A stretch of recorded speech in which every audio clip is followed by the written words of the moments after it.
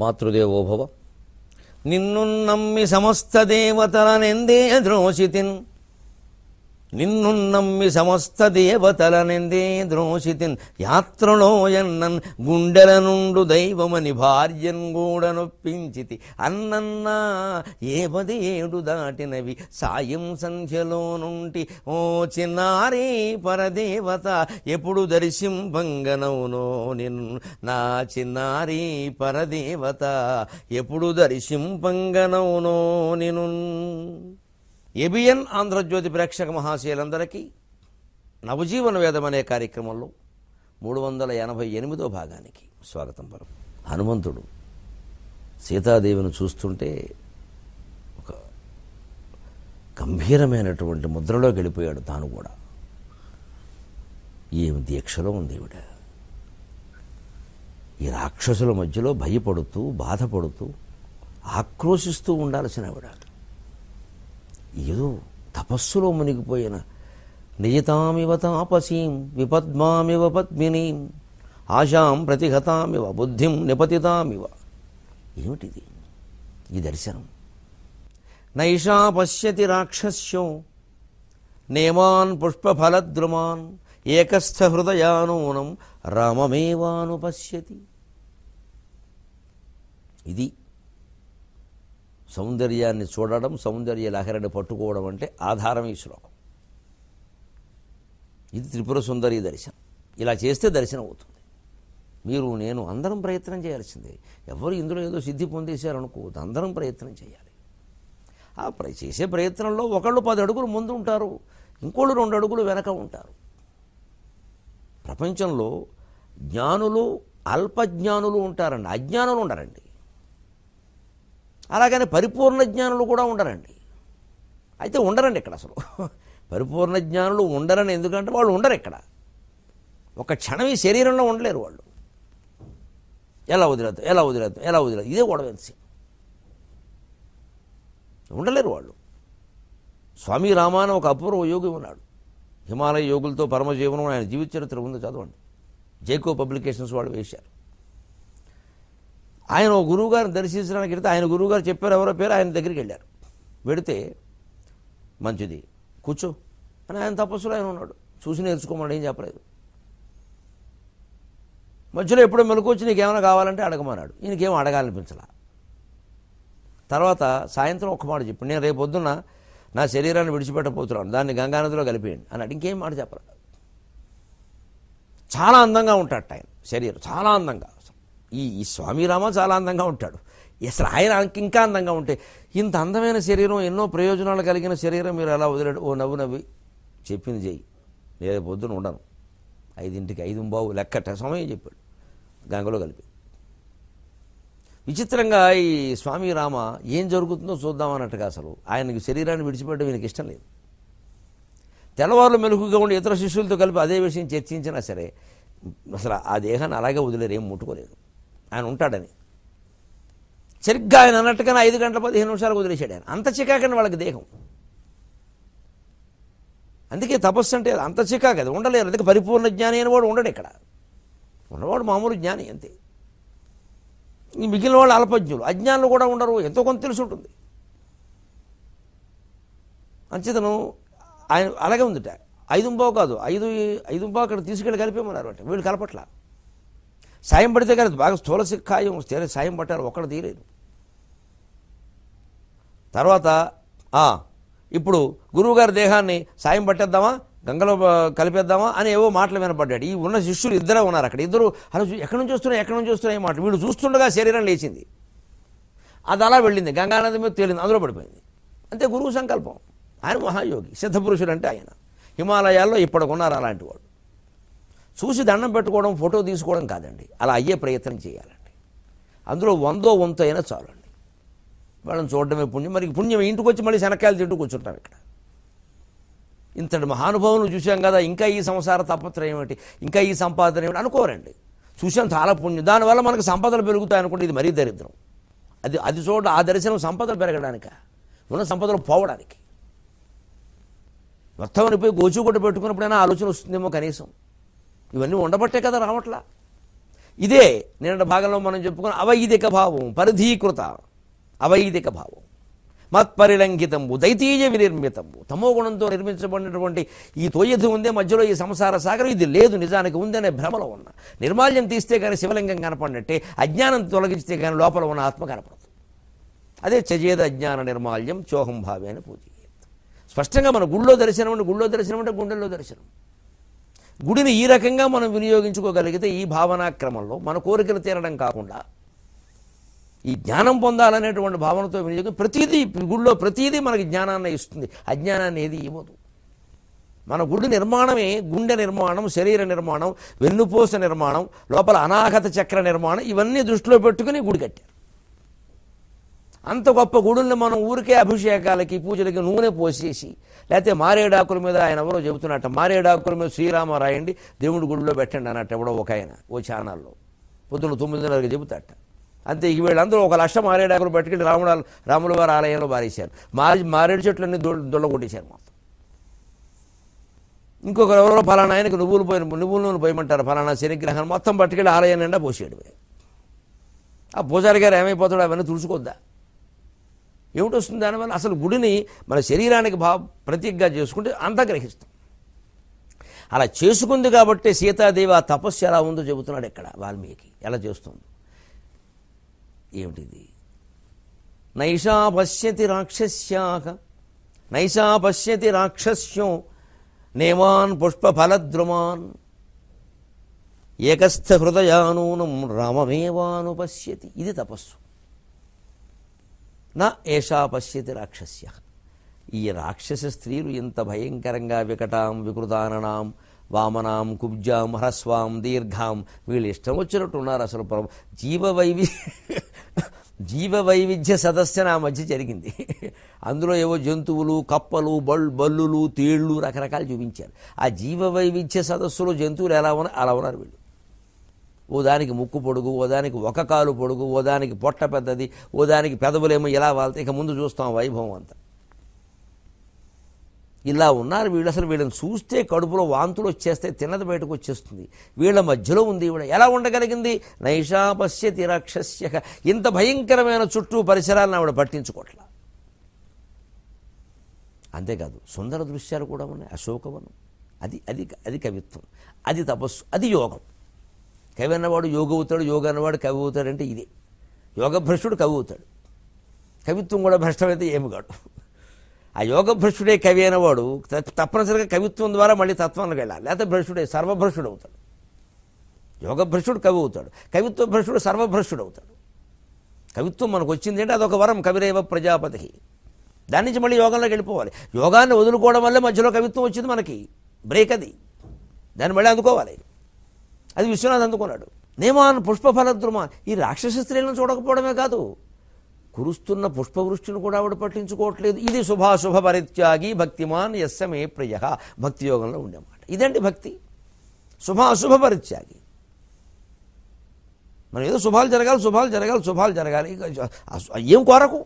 అశుభాలు కోరికలు. శుభం కూడా కోరకు. దండం పెట్టుకొచ్చాయి. ఏమొద్దు అక్కడ ఏం కోరక్కల్లా నమశివాయ నమశివాయ నమశివాయ. కోరేదేమిటి? కోరడం మొదలెడితే అంత ఉండదు. మా అమ్మాయికి చదువు బాగా వచ్చేలా చేయండి. చదువు వస్తుందమ్మా పెళ్ళి అవ్వదు పెళ్ళి అయ్యేలా చేయండి. పెళ్ళి అవుతుందమ్మా ఇద్దరు విడిపోతారు. ఒప్పుకుంటారా? విడిపోరమ్మా కలిసి ఉంటారు పిల్లలు పుట్టారు. అప్పుడో కోరిక. వాళ్ళకి సంబంధించిన కోరికలు కూడా వీళ్ళకే. అక్కర్లేదు అమ్మాయి దండం పెట్టింది చాలా అంత అయిపోయింది. ఏ కోరిక వద్దు. అందరూ చేయవలసింది దండం పెట్టేవారు పెట్టించుకుని ఆశీర్వదించేవాడు కూడా చేయవలసింది నమ శివాయ నమ శివాయ అంతే. అందరికీ ఎవరికి ఏమి ఇయ్యాలో శివుడు చూసుకుంటాడు. వారు కోరడం మనం ఏదో అండం మొదలుపెడితే అహంకారం వచ్చినట్టే అక్కడికి. ఆయనకి దండం పెట్టగానే మా కోరిక తీరిందని పక్క వాళ్ళకి చెబుతారు వీళ్ళు తిన్నగా ఇంకో వంద మంది దండాలు పెట్టేవారు పెరుగుతారు ఇక్కడ. ఇక అక్కడి నుంచి పీఠాలు ట్రస్టులు అన్నీ మొదలవుతాయి. వసూళ్ళు ఆయన దగ్గర ఏదో ఉందండి. ఏం ఉండదు అంతా పోయింది అప్పటికే ఈ దండాల రూపంలో. ఒక క్షేత్రం. అపూర్వమైన తపస్సమాధికి స్వాగతం. నైషా పశ్యతి రాక్షస్యం నేమాన్ పుష్పఫలద్రుమాన్ ఏకస్థ హృదయానూనం రామమేవాను పశ్యతి ఆవిడ ఈ రాక్షస స్త్రీల భయంకరమైనటువంటి పెట్టి వాళ్ళు పెట్టే భయంకర సన్నివేశాలని బాధల్ని అవి పట్టించుకోవట్లా కురుస్తున్న పుష్పవృష్టిని పుష్పఫలాలతో పరమ మనోహరంగా ఉన్నటువంటి అశోకవనాన్ని పోనీ ఏదో ఈ రోజుల్లో పాజిటివ్ థింకింగ్ అంటారు. వస్తే వచ్చింది దుస్థితి రావణాసుడు తీసుకొస్తే తీసుకొచ్చాడు. అశోకవనం చాలా బాగుంది కాసేపు తిరుగుతాం మళ్ళీ అయోధ్యకెళ్ళి ఇలాంటివి దొరక ఇలా ఆలోచించే రకం కాదు ఆవిడ. ఇదేం టూరిజమా? ఓ పక్క దుఃఖంలో ఇంత బా మనసులో ఇంత బాధ ఉంటే అంటే అవి పట్టించుకోవటం. అంటే శుభాశుభాలు రెండూ పట్టించుకోకుండా తపస్సు చేయడం. చేయబోయే తపస్సు. ఏకస్థ హృదయానూనం ఏకస్థుడై హృదయంలో అనూనంగా వెలుగొందుతున్నటువంటి రామమేవ అనుపశ్యతి రామమాయ రామ రామ రామాయ రామభద్రాయ రామచంద్రాయ వేధసి రఘునాథాయ నాథాయ సీతాయ పతయే నమః. ఇంతగా తపించేటువంటి భార్య ఉంది కాబట్టి ఆయన అన్ని కష్టాలు భరించారండి. ఏమా పంచబిగింపు రాఘవు నిదాయిటీవి ఏమా పంచబిగింపు రాఘవు నిదాయిటీవి ఆ రూపు రుక్సామాధర్వయజు ప్రభా సుభదమౌ సర్వాంగ సౌశీల్యమౌ ఆ రూపు రుక్సామాధర్వయజు ప్రభా శుభదమౌ సర్వాంగ సౌశీల్యము ఏమా చిర్నగవు ఇన్ని ఏండ్లైన పోదే. ఏమా చిర్నగవు ఇన్ని ఏండ్లైన పోదే. అన్ని కష్టములు ఆ స్వామిన్ కృంగగజేయవయ్యే. భరతాంబా అన్ని కష్టములు ఆ స్వామిన్ కృంగగజేయవయ్యే. భరతాంబా నీవు ధన్యాత్మవౌ. ఆ రాముడు ఈ దేశంలో పుట్టడం ఎంత అదృష్టం చేసుకున్నామండి మనం. ఆ సీత ఈ దేశంలో పుట్టడం ఎంత భాగ్యవంతులం అండి భారతీయులు అందరం. ఆ భాగ్యదేవతను మన గుండెల్లో పెట్టుకోవద్దా? మనం అలా ఉండద్దా? మన పిల్లలకు కూడా పేరు పెట్టడం మానేశాం ఈ మధ్యన. వంకర టింకర పేర్లు అని పెడుతున్నారు. సీతారాముల పేర్లు వదిలేశారు. ఎలా తయారవుతారు వీళ్ళు?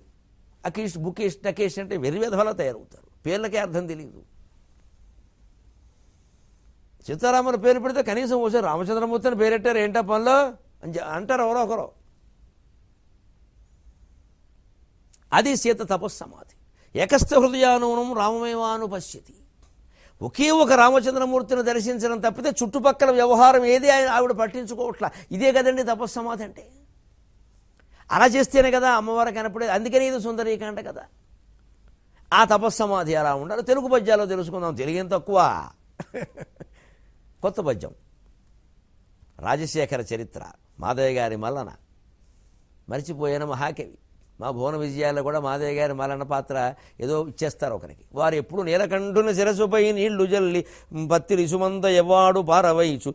కామధేనువు వానింటి గాడి పసరము అల్ల సురసాఖి వానింటి మల్లె చుట్టూ.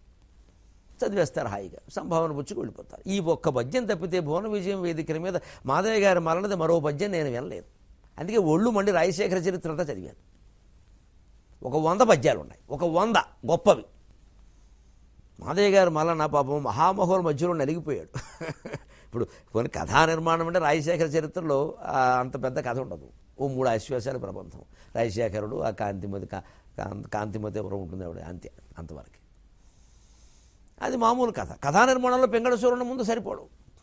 ఈ కవిత్వం అంటే రసధార రసమయమైన కవిత్వం. అలసాని పెద్దల ముందు సరిపోడు.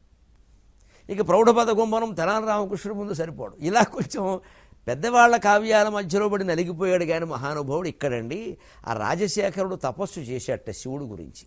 రాజశేఖరుడు అంటేనే శివుడు కదా. చంద్రశేఖరుడు. రాజా చంద్ర ఒకటే. ఆయన తపస్సు చేసేట సరిగ్గా ఈ సుందరకాండలో శ్లోకానికి సరిపోయే మా పద్యం ఎలా తపస్సు చేసేట ఆ మానవపతి చిత్తారామములో నుండ మరిగి రాజత భూమృత్సీమకైపోదలంపక సోమకళాధరుడు మిగుల సోమరి అయ్యన్ ఆ మానవపతి చిత్తారామములో నుండ మరిగి ఆ మానవపతి చిత్తారామములో నుండ మరిగి రాజత భూభృత్సీమకయిపోదలంపక సోమకళాధరుడు మిగుల సోమరి అయ్యన్ ఇక్కడ సోమరి అన్న మాట వాడినందుకు వీడు దుంపదగ వీడికి దేశంలో ఉండే సాహిత్య బహుమానాలన్నీ ఇచ్చేయచ్చు. అంత గొప్పవాడు రాజశేఖర్. ఇటువంటి పద్యాలు పట్టుకోవాలి. ఇవి ప్రచారం చేయాలి. బోళ్ళు ఉన్నాయి.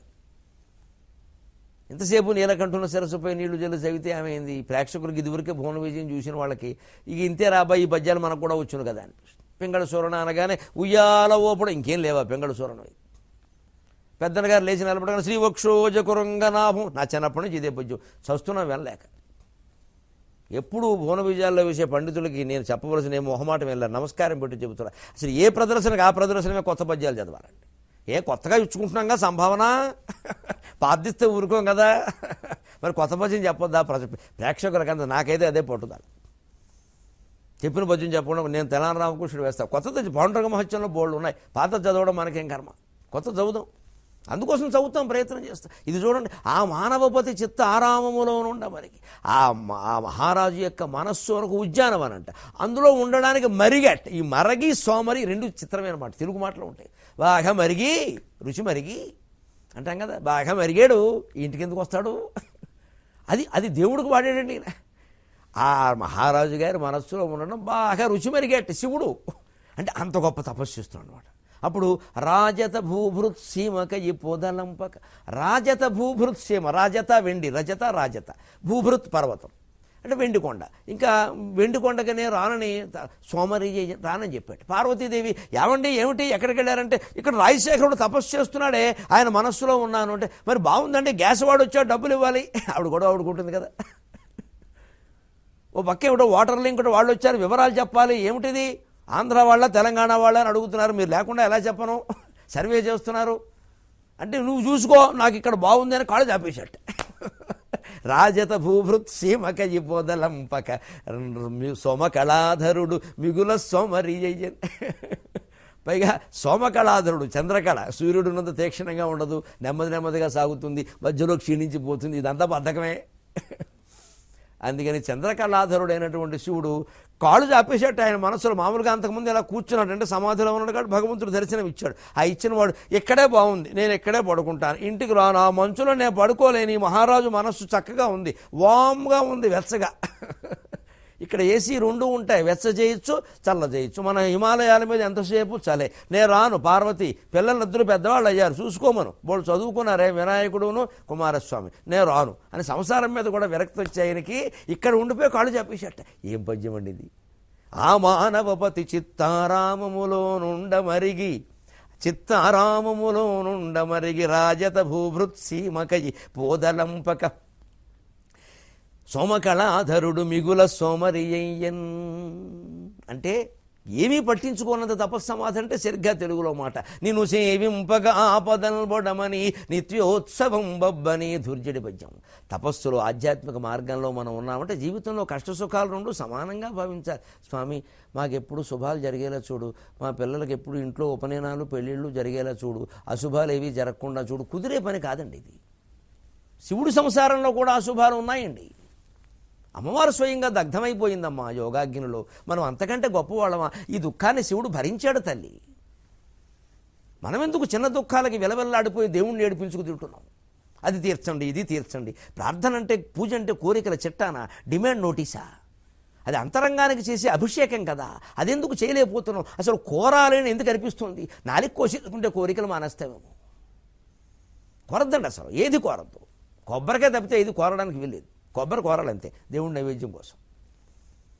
కోరద్దాం.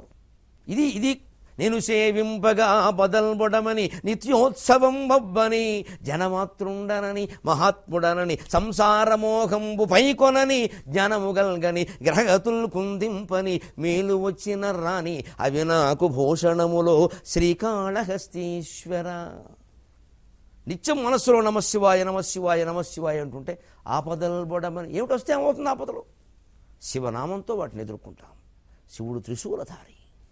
మన జోలికి ఎవడన్నా వస్తే శివుడు చూసుకుంటాడు. కరిదైత్యున్బొరిగొన్న శూలము కరగ్రస్తంబుగాదో రతీశ్వరునిగాల్చిన పాలలోచన శిఖావర్గంబు చల్లారెను పరనిందాపకులన్ వధింపవు ఇదియున్ భావ్యం నీకేమి చేసిరి వారున్ పరమోపకారమిలలో శ్రీకాళహస్తీశ్వర. ఏమయ్యా నేను న్యాయం మాట్లాడితే నేను ధర్మం మాట్లాడితే నేను జ్ఞానం మాట్లాడితే ఎవడో నన్ను ఇలా అంటున్నాడా అంటే వేసేస్తాడు వాడిని పట్టుకుని శివుడు దెబ్బ మావాడు జోలికి రావద్దని. అడుగుతాను నిలబెట్టి. దేనికి నీ సోలం పనిలేక శత్రువుల మీద ప్రయోగించిన దానికి సోలం దేనికని పక్కన పెట్టుకుని పడుకుంటారా? అదేమన్నా గూడుగా? లేదా ముసలాళ్ళ కర్ర? పాలలోచన శిఖావర్గం బుసలారను. మన్మధుడిని కాల్చా మన ఎవరికి కావాలి ఎవరికి కావాలంటే? నేను ఇక్కడ భక్తుణ్ణి. నేను బాధపడుతున్నా శత్రువులతో. వాడిని చూసుకో. వేసేస్తాడు దెబ్బ. అంత ధైర్యం ఉంటుందండి పంచాక్షర జపంలో. అది పొందాలి. అప్పుడు యాపదలన్నీ ఓ లెక్క. పైగా ఇంకో మాట అంటున్నాడు వారేమి చేసిరు నీకు పరమోపకారం నాకు ఉపకారం చేయకుండా నీ భక్తులైన వాడికి వాడికి ఉపకారం చేస్తున్నాడు ఆమ్యామ్యా అది దుర్జడి పద్యం. ఆ, అదనమాట శివుడు శివుడు ఏదో ముట్టింది. ఆ, మీకు ఇది మాకు అది ఈక్విటీ ప్రోకో. పరమ నిష్కల్మషమైన భక్తి మార్గానికి తపస్సమాధికి స్వాగతం. నేను సేవింపగా ఆపదల్బడమని నిత్యోత్సవం బొబ్బని జనమాతృండనని మహాత్ముడనని సంసార మోహంబు పైకొనని జ్ఞానముగల్గని గ్రహగతుల్ కుందింపని మేలు వచ్చిన రాని అవి నాకు భూషణములో శ్రీకాళహస్తీశ్వర. ఆపదలు వచ్చినా సరే సంపదలు వచ్చినా సరే నిత్యోత్సవం బొబ్బని ఎప్పుడు పెళ్ళిళ్ళు ఉపనయనాలు జరగని జరిగితే దానికే వాళ్ళకి వయస్సు వచ్చాక అవన్నీ చేయాలి ఆ శుభము శాశ్వతం కాదు అశుభము శాశ్వతం కాదు. ఆ శుభం ఎంతో అశుభము అంతే రెండు సమానంగా తీసుకోవడమే భక్తి. అందుకే మన ఆధ్యాత్మిక జ్ఞానం పెరగాలి. జనమాతృండనని నాకు ఏమీ ప్రచారం పబ్లిసిటీ ఏమీ లేకుండా సామాన్యుడు నన్ను ఎవరు పట్టించుకోకపోయినా నాకేం బాధ లేదు. ఇదేమిటి ఇంతమందిలో ఉన్నాను నేను రైలు ఎక్కాను ఎవరు దండ పెట్టట్లా ఎవరు నన్ను చూడటం నాకు నేను తెలియదు అవసరం లేదు. తెలవాల్సిన అవసరం లేదు. తెలవకపోవడంలో చాలా సౌకర్యం ఉంది సుఖం ఉంది. తెలవడమే గొప్ప కాదు. ప్రతిష్టా సౌకర్య విష్ఠ సమా గీత మహాత్మభి అంటారు శంకరాచార్య వివేక చూడమళ్ళు ఈ పబ్లిసిటీ అనేది పంది పెంటతో సమానం అని చెప్పాడు ఇది మనిషిని ముంచేస్తున్నాడు మహామోహాలు. పైగా డబ్బు వ్యామోహం ఉన్నవాడైనా వీడు దుంపదగా ఎనభై ఏళ్ళకైనా దాని నుంచి బయటపడతాడు కానీ ఈ ప్రచార వ్యామోహం ఉన్నవాడు బయటపడలేడండి. చచ్చే వరకు ఇది ఒకటి చచ్చాక కూడా ఏ విగ్రహం పెడతారు? కంచా రాగా ఇప్పుడే చెప్పండి అంటాడు. ఇది ప్రచార వ్యామోహం డబ్బు వ్యామోహం కంటే దారుణమైంది ఇది. అవసరం లేదు జనమాతృండానని మహాత్ముడని అనుకుంటే అనుకుంటారు కొంతమంది మహాత్ముడు. అనుకుని వాళ్ళు అనుకుంటే అయిపోతానా? అనుకోనంత మాత్రాన కాకుండా పోతానా? ఇది యోగికి ఉండాల్సిన మాట. ఇది జీవితంలో మనం ఎదగాల్సిన విధానం. రోజు రోజు రోజు రోజు మెడలో వేసుకున్న రుద్రాక్షమాల బొట్టు మృదుడి మీద పెట్టుకున్న బొట్టు అద్దంలో చూసుకుంటున్నప్పుడల్లా దీన్ని చేరుకోవడానికి దీన్ని చేరుకోవడానికి నేను చేసిన ప్రయత్నం ఏమిటి? ఇరవై నాలుగు గంటలు అయిపోయింది ఇరవై నాలుగు గంటలు అయిపోయింది. భగవంతుడు ఇరవై నాలుగు గంటలు బతకనిస్తాడో లేదో. అందున ఈ ఆధునిక ప్రపంచంలో ప్రతి క్షణము అశాశ్వతమే. ఏ క్షణం ఏం జరుగుతుందో తెలియదు. తొందరగా పొందాలి తొందరగా పొందాలి. ఆత్మజ్ఞానం మీద ఈ దృష్టి ఉంటే జీవితం ఎంతసేపండి? బోడి జీవితం. అది ఉన్నదే మిథ్య. అది లేదు ఉందని మనం అనుకుంటున్నాం ఊరికే దాని గురించి కంగారు పడుతున్నాం. ఆ జ్ఞానం ఉన్నవాడు దేనికి ఆధార్యపడు నెక్కచ్చిగా మాట్లాడతాడు. రాని పది పది కత్తుల మీదకి రాని శివుడు ఉన్నాడు. లేదు పోయాం ప్రాణాలు పోయాయి శివుడు నిర్ణయం ఓకే ఒప్పేసుకున్నాం అయితే ఓకే. కొండ కొండవలస డైలాగ్ అయితే ఓకే అంతే తీసేయి. ఆయన నిర్ణయం అది అంతే జరిగింది విరై నిరంతరం జపంలో ఉన్నాం. మరి వెళ్ళిపోతాం హాయిగా శివుడు శివుడి దగ్గర ఉంటాం. ఏం పెద్ద విషయాలు ఇవన్నీ. అందుకోసం అబద్ధాలు చెబుతామా? అందుకోసం మాయమాటలు చెబుతామా? అందుకోసం అక్రమంగా సంపాదించిన వాళ్ళకి కాకాపడతాం వెళ్ళి. పటం. సమస్య లేదు శివుడిని నమ్ముకున్నాం అంతే. జనమహాత్మ సంసారమోహంబు పైకోనని ఒక్కోసారి చాపల్యాలకు లోనవుతాడు యోగి అని వాడు కూడా. ఎందుకంటే వాళ్ళు ఏదో అడిగారు పాపం వాళ్ళు కాదంటే బాధపడతారు. పోన్లే వాళ్ళ కోసం. ఆ వాళ్ళ కోసం అని చేసేదంటూ ఈయన మనస్సు కూడా అవ్వచ్చు అవుతుంది. అవకాశాలు లేకపోలేదు. పూర్తిగా ఉన్నాయి. అదే సంసార మోహము పైకొనండి. ఇది పిల్లల గురించో బయట వాళ్ళ గురించో అభిమానుల గురించో కొన్ని తాపత్రయాలు పడవచ్చు. జ్ఞానము కలిగిన ఒక్కోసారి తీవ్ర జ్ఞాన వైరాగ్యాలతో ఉండి నాకు అక్కర్లేదు అని చెప్పచ్చు. రెండు సమానమే ఎందుకంటే మనస్సులో నడుస్తున్నది నమ శివ ఇంకేం లేదు అక్కడ. అక్కడ శివుడు కాళ్ళు జాపు పడుకున్నాడు ఖాళీ లేదు ఉన్న మెదడే ఎంత. అందులో ఆయన కాళ్ళు జాపు పడుకున్నాడు ఇంక వీళ్ళు ఎక్కడ ఉంటారు? గ్రహగతులు కుంతింపని ఇవాళ చాలామంది భయపడుతున్న విషయం. ప్రతి వాళ్ళు నక్షత్రాలు జాతకాలు ఇబ్బంది పడిపోతున్నారు ఇంక మా పోనీ జ్యోతిష్ శాస్త్రం గురించి ఆలోచించినా పర్వాలేదు శకునాలు బల్లిపాట్లు ఇవన్నీ పిల్లి కోత ఇవన్నీ ఇవన్నీ పెద్ద విషయాలండి. పిల్లి ఎదురొచ్చింది నల్లి ఎదురొచ్చింది. ఇంకా పెరిగిపోతున్న ఈ అజ్ఞానం బాగా పెరుగుతుంది ప్రసార మాధ్యమాల కారణంగా. ఇదివరకు ఆ ప్రచార వేగం ఇంత లేదు. ఏదో కొద్ది పల్లెటూళ్ళు ఎవరో చెప్పేవాడు పురాణం వినడమే ఎవరు వస్తారు పురాణం వినడం పది మంది వచ్చేవాడు ఇప్పుడు టీవీలో చెప్పడం వచ్చింది తర్వాత కోట్ల మంది వింటున్నారు లక్షల పైగా యూట్యూబ్లో పెడుతుంటే ఇంక మొత్తం ప్రపంచం అంతా చూబ్ అయిపోయింది ఇప్పుడు యూట్యూబ్ ప్రపంచమే యూట్యూబ్. పైగా ఎన్నిసార్లు అయినా వినొచ్చు. దాంతో ఈ మధ్యలో వచ్చే ప్రకటనలు రకరకాల వ్యవహారాలు మనుషులు బుర్రలను పాడు చేసేస్తున్నాయి. ప్రవచనం మంచిదే మధ్యలో ప్రకటనలో దీనికి ముందు వెనక వ్యవహారాలు నాంది నాంది భరతవాక్యాలు బాగా లేవుగా అలా అలాగే ఉంటాయి నేను. ఇవన్నీ పాడు చేసేస్తున్నాయి. ఇదే గ్రహగతులు కుందింపని. ఏ గ్రహస్థితి భయపెట్టినా సరే మేలు వచ్చిన రాని నాకు ఏదైనా మేలు కలగని. అవి నాకు భూషణములో శ్రీకాళహస్తీశ్వర. అవన్నీ నేను ఆభరణాలుగా భావిస్తాను. విష్ణుమూర్తి అయినా ఇలాగే ఉంటాడు. సంపత్ సుందరి కాళ్ళపై పడి ఆసన్ చూడడు. ఇంద్రాది పారంపర్యంబుకు స్తోత్ర పాఠముల శ్రోత్రం ఉంచడు. ఏ భీరుతన్ కంపింపండు సహస్రభూత్కరములన్. గారుత్మదోద్యానమందింపుంజూపడు యోగ నిద్రితుడు తానీక్షించు బ్రహ్మంబుని. ఇదే ఏకస్థ హృదయ రామమేవాను పశ్యతి సీతారాముడు చూస్తుంది అనుకోడు రాముడు కూడా రాముడినే చూస్తాడు. అంతే అందరూ ఆత్మను చూడమని అర్థం. ఆ ఆత్మను చూసేవాడే దేవుడు. జీవుడు ఎప్పుడైతే ఆత్మ సాక్షాత్కారం కోసం ప్రయత్నం మొదలుపెట్టాడో దేవాలయం గుడి మెట్లు ఎక్కుతున్నట్టే మెట్లు ఎక్కుతున్నట్టే. లోపలికి వెళ్ళి కాస్త ధ్వజస్తంభం దగ్గరికి చేరాడో ఇంకా దగ్గరికి వెళ్ళినట్టే. వెనుపోసు పట్టుకున్నట్టు షట్చక్ర సంచారం మొదలైనట్టే. లోపలికి వెళ్ళి గంట ఎప్పుడైతే కొట్టాడో గుండెల్లో అనాహత. ఇక్కడ కొట్టే గంట అక్కడ కొట్టబడిన గంట మోగినట్టే. ద్వారపాలకుల దగ్గరికి వెళ్ళాడో జయ విజయులు నీకేమరా జయం విజయం దా అని స్వాగతం పలికించుకున్నట్టే. ఇక లోపల గర్భగుడిలో బ్రహ్మాండమైన దర్శనం గుండె గుహలో పరమాత్మ దర్శనం. ఇది మార్గం. అది విష్ణుమూర్తి కూడా అదే స్థితి సంపత్ సుందరి కాళ్ళపై పడిన ఆసనం చూడడు. లక్ష్మీదేవి సాక్షాత్తు కాళ్ళ దగ్గర కూర్చుంటే ఆవిడ కేసు చూడడు. అంటే సంపదలను పట్టించుకోవద్దు. ఇంద్రాది పారంపర్యంబకు స్తోత్ర పాఠంలో స్తోత్రం పొంచుడు. ఇంద్రాది దేవతలంతా పొగుడుతూ ఉంటారు పట్టించుకోడు. లోకంలో ఎంతోమంది పొగుడుతూ ఉంటారు మనతో అవసరాలు ఉండి పట్టించుకోక. ఏ భీరుతను కంపింపండు సహస్ర సహస్రభూత్కరములను కొంతమంది నిందిస్తారు భయపడతారు బెదిరిస్తారు. ఆరిశేషుడు వెయ్యి పడగలు విషం కక్కుతూ ఉంటాయి అవేం పాలు కక్కవు. అయినా ఆయన నిద్ర నిత్యం యోగ నిద్రలో ఉంటాడు. అలాగే ఉండు అదే యోగం. అదే ఏకస్థ హృదయానునం రామమే వాను పశ్యతి. గారుత్మతోద్యానమందింపు చూపడు. యాత్రలు తీర్థాలు చాలు చేసినవి చాలు. ఓసారి వెళ్ళాం కాశీ చాలు. పదహారు సార్లు ఎందుకు? గొప్ప చెప్పడానికి. ఇన్నిసార్లు వెళ్ళావు? అన్నిసార్లు. చివరికి ఈ వెళ్ళిన వాళ్ళు ఎక్కువైపోయారు జ్ఞానం పొందిన వాడికంటే. నేను పదిసార్లు వెళ్ళానంటే నేను ఇరవై సార్లు. నేను పద్దెనిమిది కాదండి ముప్పై ఆరు అరవై రెండు సార్లు వెళ్ళినా ఏం పొందావు అనేది ముఖ్యం. అసలు ముందు ముప్పై ఆరు సార్లు వెళ్ళారని గొప్ప చెబుతున్నామంటే అజ్ఞానంలో ఉన్నావు మానయి. ఇంక వెళ్ళడం మానై ఎందుకంటే వారు పద్దెనిమిది అన్నారు వీరు ఇరవై అన్నారు వీరు ఇప్పుడు అంకెలు ముఖ్యమైనవి. అయ్యప్ప వెళ్ళిపోయాడు. గొప్ప ఇంకా. లోకంలో దండాలు పెట్టించుకుందుకు బాగుంటాయి ఇవన్నీ నేను ఎన్నిసార్లు పెడితే ఎవరికి? ఎవరికి కావాలా లెక్కలు? ఇదే గరుత్మతోద్యానం ఇంపుంజు ఇప్పుడు గరుత్మంతులు ఎదురుగా ఉంటాడు విష్ణుమూర్తి అక్కడికి వెళ్ళడు. ఎలా ఏం చేస్తాడు? యోగ నిద్రితుడు తాను ఈక్షించు బ్రహ్మంబుని. ఎప్పుడు యోగ నిద్రలో ఉండి ఆత్మ సాక్షాత్కారం పొందుతూ ఉంటాడు. మనం అలా ఉండాలి. అదే ఏకస్థ హృదయానోనం రామమేవాను పశ్యతి. ఇది సుందరీకాండ. ఆ రకంగా బాలాత్రిపుర సుందరీ దేవి దర్శనాన్ని అంటే ఆత్మ దర్శనాన్ని పొందేటువంటి ప్రయత్నం చేద్దాం. మళ్ళీ ఇరవై మూడున్నర గంటల్లో కలుద్దాం. అంతవరకు తెలుగులో మాట